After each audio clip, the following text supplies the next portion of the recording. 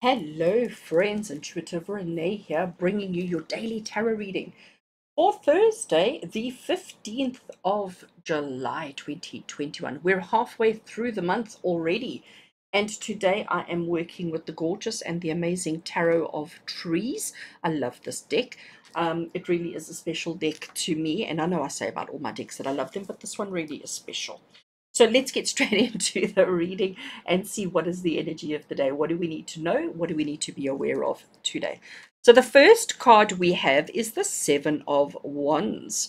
Seven of Wands is quite a quite an interesting card because it's about being defensive. It's about holding back. It's about resisting and and almost fighting something that's not really there. So what we have here is we have a whole bunch of trees sort of blocking an, an, an entrance to a town isn't it um, so we've got these mountain passes on either side and then we've got all these homes and all these houses here and you can see it looks like all the trees have been chopped already but it's almost like the trees are moving but it's almost like we are feeling as if we're backed into a corner so it's like the trees have been moving away because they're so afraid of getting chopped down they're so afraid of being, you know, uh, taken out at the bottom.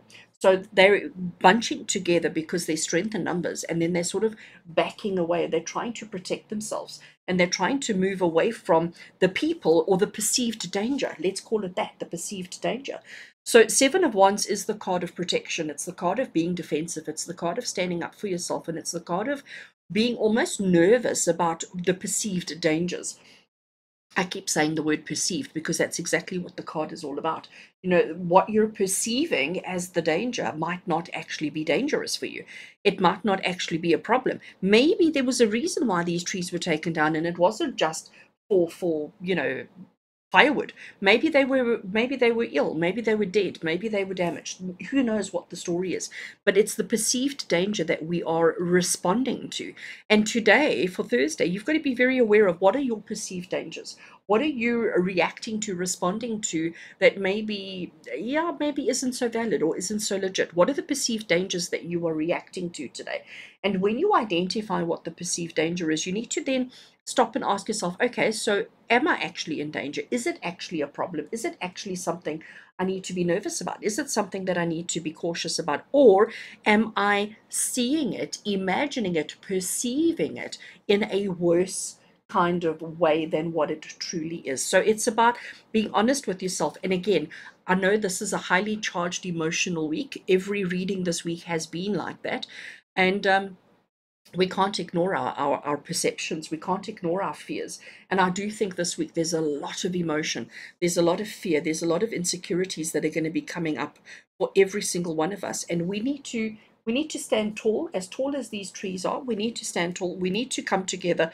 But we also need to just, before we allow ourselves to succumb to perceived threats, perceived dangers, perceived anything, let's just check to see how real and how valid and how legit that situation is before we respond. Let's have a look and see what the next card is. Okay, so here we have the Four of Swords, and the Four of Swords in traditional tarot is the sword is the card of telling you rest, recuperation, pause, wait, do nothing. Okay, um, so the Four of Swords is basically saying to you, when you identify the perceived danger, when you when you identify what this perceived threat is that you are responding to, instead of trying to fix it, instead of trying to make it better, instead of trying to understand it, do nothing. Just pause, just wait. Just wait it out and see. Because you've got to realize that you've been almost hyperventilating, holding your breath, anxious for the longest time.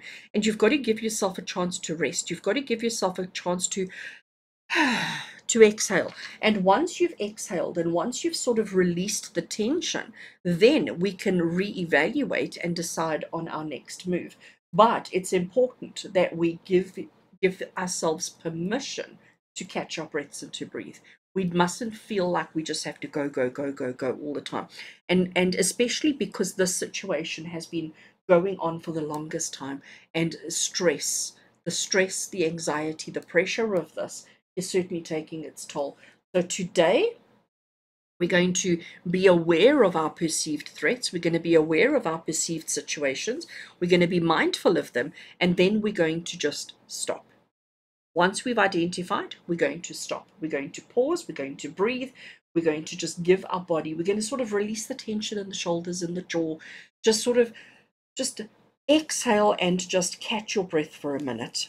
And the last card we have today is the High Priestess. Isn't she gorgeous? So she is full moon, new moon, all of that rolled into one.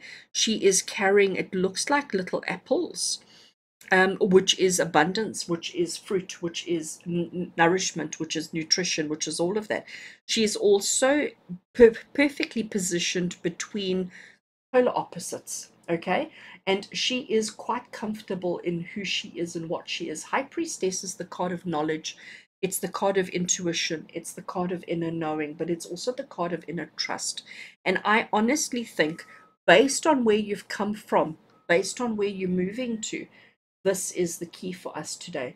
And this card here, the Four of what the Four of Swords, is saying to you, just give yourself permission to just be today. Don't feel like you have to prove anything to anybody. Don't feel like you have to do anything for anybody. Actually, today you can just exhale and just breathe and know within your heart and soul, know that it's okay. Know within your heart and soul that nobody is expecting anything different from you. Nobody is putting any kind of pressure on you. You are putting pressure on yourself. And you've got to give yourself permission to release that pressure today. And the high priestess says, You know that. The high priestess is telling you that you're very aware of, of what you're doing to yourself, the pressure you're putting on yourself, and all of that. And you need to give yourself permission today to not be so defensive, to not always expect everything to be a perceived threat, to not always see the bad of everything, but to give yourself permission to exhale, to de stress. I love the colors in the background here, and to just know that everything's going to be okay. Because you know what, friends? It is. It is going to be okay. It absolutely is going to be okay. And you've got to know that. In your heart of hearts, in your soul of souls, you've got to know that it's going to be okay. You don't have to be so defensive all the time. All right, I'm going to leave it there with love and blessings as always. From my heart to yours. Have an awesome, amazing, fabulous Thursday. Take care.